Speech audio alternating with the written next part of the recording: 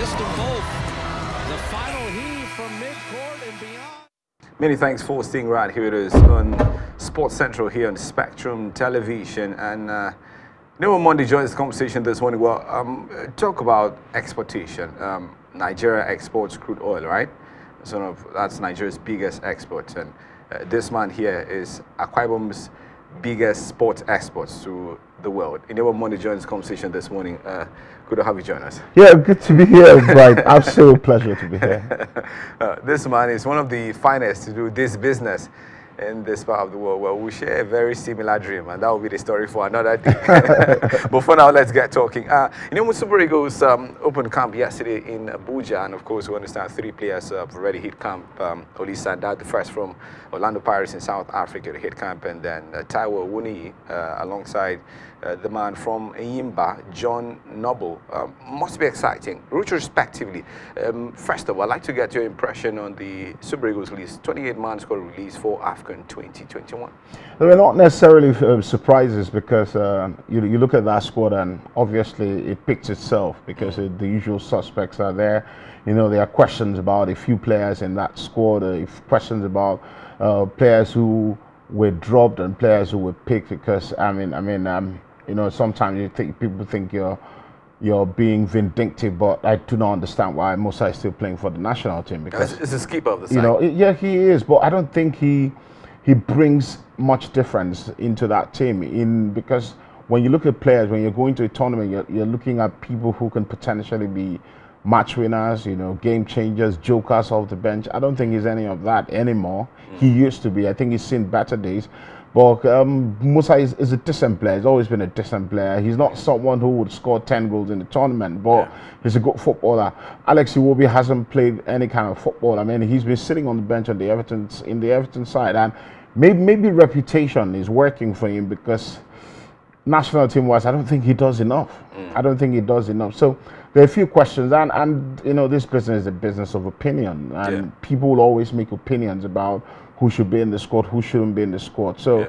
Um, if, if the manager thinks uh, uh, that this squad can take us to the Africa Cup of Nations, I'm not expecting Nigeria to win the Africa Cup of Nations. And I've, I've, I've watched football for so long, Bright, to understand that when you go to tournament, there are lots of factors. There are lots of factors that can make you win, and mm. having a good squad is one of them. I don't think we have the best squad on the African continent guess what? We have the best players on the African continent. We don't have the best squad. Yeah, you know, and that's a massive contrast. You know, when I say that individually, individually, um, we, have got, the best, the quality, the best players. But as a unit, as a unit, because you know, I, I have said this on different platforms. Most yeah. of our players will struggle to play for Senegal, mm. will struggle to play for Tunisia, Morocco, some of these teams because mm. they have better structures as a team.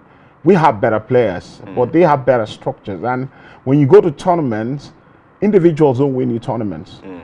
I mean, you can take. I mean, even individuals win people tournament. Messi would win every tournament he plays. Mm. So individuals doesn't win the tournament. Ronaldo win every tournament with Portugal, but it doesn't happen because you need the structure of a team. You mm. need players who are in sync with what the manager wants to do, and you need the manager to have a clear, defined plan to how to win a tournament. So.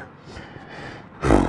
And now, you know, you, you're talking about um, a couple of players who basically for you have no business to the national team. But Ahmed Musa is still just 28.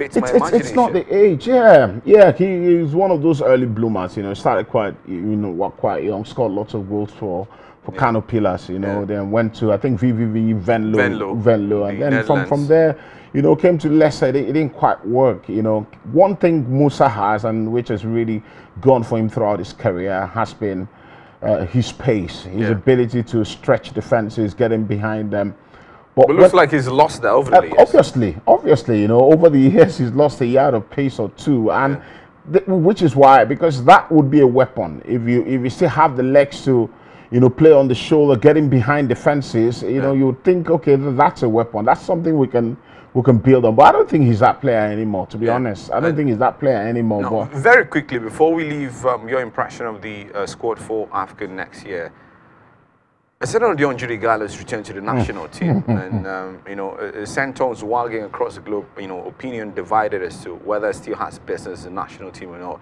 When you put that side by side with the array of young and emerging talent who have strikers, particularly, you'd go with the likes of Taiwo Awoniyi, Emmanuel Dennis, we're talking Sadiq Umar, Paulo Onuachu. Cyril Dessers can't even make the national team mm. score. Odion Ighalo's return to the national team quickly. Brian, like I said earlier, it's it's, it's a matter of opinions. You know, I don't think that Odion Ighalo has a lot to offer to the national team, but I do think he has a lot to offer to the younger strikers. Yeah. And in a 28-man squad, I, I won't begrudge the manager so much. You know, in a 28-man team, I won't begrudge the manager take, taking Odion Ighalo to, to the Nations Cup because yeah. you have to play 11 per time. Yeah. You know, so it doesn't necessarily mean he will play all the time, but I'm sure people like Taiwo Awoniyi, I'm sure people like Manuel Dennis will be able to yeah. to take advantage of his, his world and, of experience. And Victor Osimhen fits. You know, of, of course, Victor Osimhen, because Odion Ighalo, you can criticize him all you want, but every time he played for Nigeria, he delivered. Most of the times, you yeah. know, he delivered. You know, scored lots of goals at the Africa Cup of Nations, scored lots of goals at the qualifiers. So he should be there. You know, for a 28 man squad, you never know. You know, when COVID times, very strange times, mm. you never know. It's, it's someone you should have around you. At least he has got experience. You know, the only slight downer is the fact that he's playing in a less uh, competitive league, yeah. which is a problem because when you when you do not play in a competitive league, mm. some, I just feel it takes something away from you. Right now, um, let's leave the national team setup, the build up. Um, there are lots of complexities earlier. Um, when the Akwa United had the official, you know, reception ahead of the new season, Amaju Pinnick was in town and he said Uyo would be, mm. you know, where the Super Eagles would be opening camp and the sport minister Dare had another idea entirely, and now they're camping in Abuja against Uyo. Um, Rohr talked about it, you know, time and time again. Uyo is one of the best destinations because you look at away from the busy center. Because he talked about the fact that when players hit camp, you know, we're talking family members waiting, mm. friends waiting, and that could be distracting mm. for for these players. But you know, you you have you know a destination away from the busy city center, and the players are a lot more calm, cool, calm, and of course. Uh, keep the eyes on the prize. Um, is it political? We understand the Moshood Abiola Stadium just opened, then you know they, they brought in the presidential cup or something new. Mokachi did that. Uh, they, they're busy and of course looking to get in action at the Moshood Abiola National Stadium in Abuja. But is that the best we can get when you look at such a big tournament and the ambitions of Nigerians heading to Cameroon? So I said earlier that you know to to win a tournament, there are lots of factors that can go against you. And the, the, lack of organization, the, the lack of well laid out structures with, our football, it's, it's a big issue. And take nothing away from it. We make political decisions when we should be making football decisions because I personally feel that in the interest of the players, you know, when you go to the World Cup, the the the, the juggernauts, the, the, the protagonists are the footballers, the players. And what you need to do is they have to be the ones deciding where they want to be. Yeah. And if Gernot Rohr's uh, um, words or statements or, uh, is taken seriously, you would have the feeling that the players enjoy staying in a place like Uyo. And when you say that, people say, oh, because he's from Akwa Ibom. Mm. You know, I live in Lagos and I understand the issues of Super Eagles playing in Lagos. It is absolute shambles. Mm. It is quite difficult, you know, the traffic situation. For instance, the last time the, the Super Eagles were in Lagos, they're playing in, in, in at the Teslim Balogun Stadium in Surulere mm. and camping in VI. And if you live in Lagos, you know, trying to access this place, it's quite difficult during, you know, particularly the rush hour time, morning time, and the evening time where they train. Mm. So the, these are some of the issues that uh, the people who run our football, the powers that be, you know, I've just chosen chosen to look away from because I just feel that at the risk of sounding, uh, uh, um, making an allegation. I just, I just get the feeling that these guys are just making our football uh, look like you know it's some sort of business you know where you put it to the highest bidder you know the guy who's giving you more more money we can take Bright, we've heard that football was supposed to be taken to the Super Eagles were supposed to be going to the Lekan Salami Stadium in Ibadan. Yeah. As I saw clips of that uh, Akwa United going to play there, mm. that pitch is like a rice plantation. Absolute shocker. And then we're, we're- we're talking about taking our football there. Mm. So, so these are some of the issues because if players are, you know, football is more psychological than we think. Mm. If players aren't comfortable going into tournaments, they can't win it, no matter how good you are. Mm. Bright James, the working you you you work here, and the conditions have to be conducive for you to be able to do well. You know, so if your mindset isn't great going into a tournament as big as the Africa Cup of Nations, how do you expect the players to go? You know, someone said Africa will win the World Cup one day. I say it's never going to happen.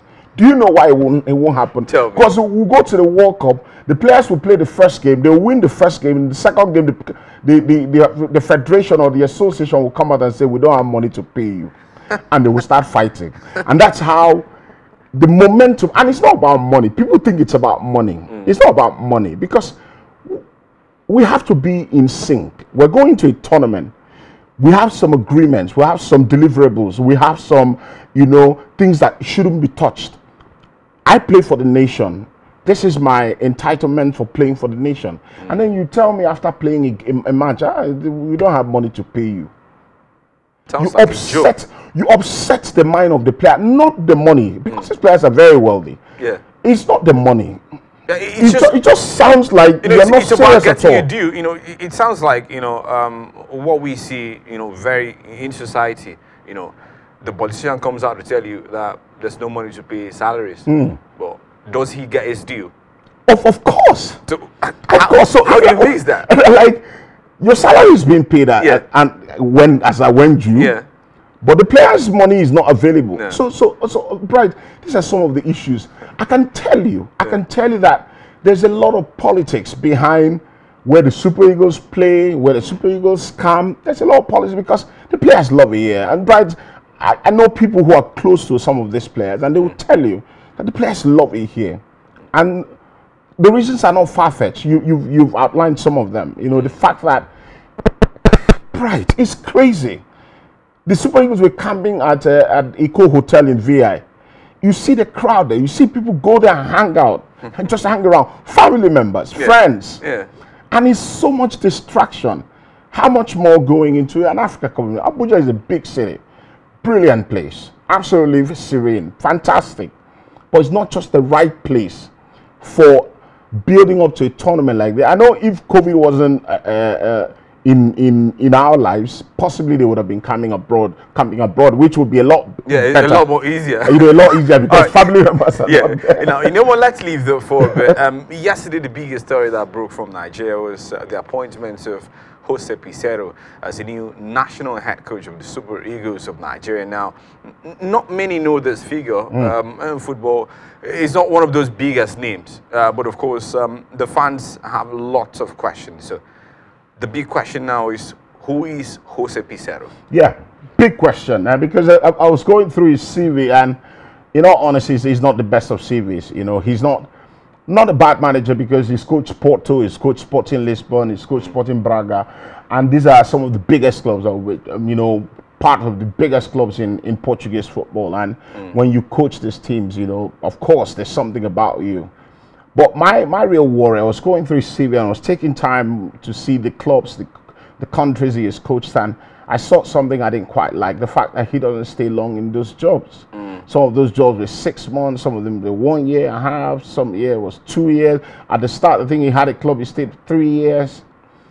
I don't like that. I don't quite like that because when you have a manager, it's it's not a stopgap. It's not it's not come and fix things. You know, it's not um, we our football is not necessarily broken.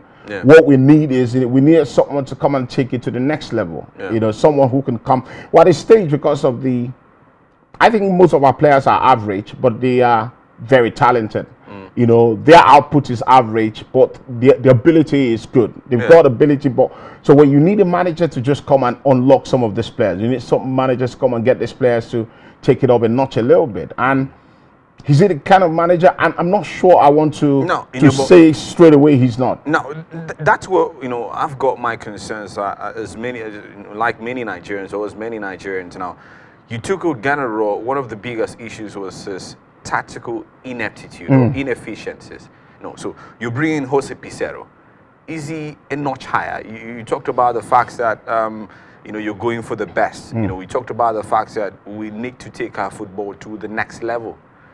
You think Jose Peseiro, looking at his profile and of course talking to a couple, you know, who followed his development over the years, is he the best Nigeria could get at this point in time?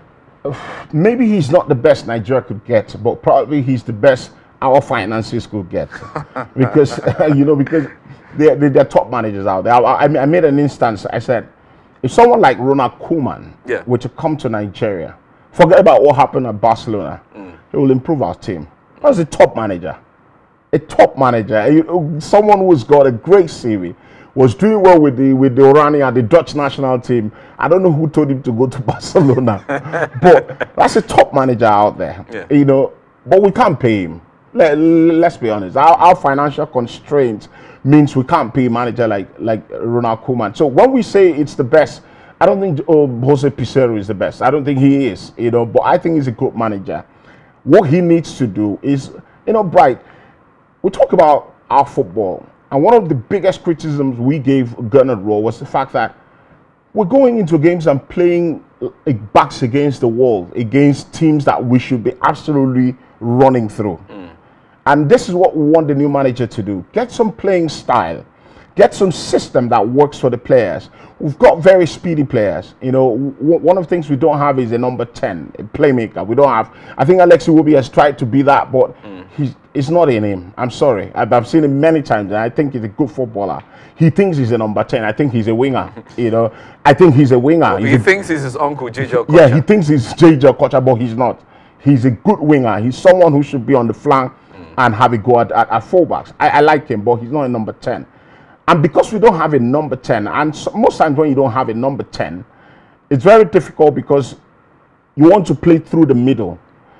But we can't do that. Now, when you talk about playing, you know, through the middle, uh, talk to us about what you think um, Kelechi Nwaka, the Golden Eaglet star, brings to that national team setup. But I've always been I've always been someone who's spoken very highly of of of, of Kelechi Nwakali. The only problem with Kelechi is the inconsistency at club level, Yeah. you know, because you want to settle at a particular place and play for a long time. As long as you're having game time, you know, Yeah. you mustn't be in the biggest of leagues, you know. Yeah. The Spanish second division is a very competitive league, you know. So to he's at Huesca, you know, Yeah. he's playing regularly and it's good. I like him. He looks like the closest thing to what we need, you know, mm. because you know now the the number 10 position, the playmaker role has, has evolved. You know, people Yeah. now judge playmakers from you know his smashing balls into the top corners. Yeah. You know, his crosses that no no no no. A playmaker is just simply it's just like the word it's a playmaker. Mm. Someone who makes play. Mm. You know.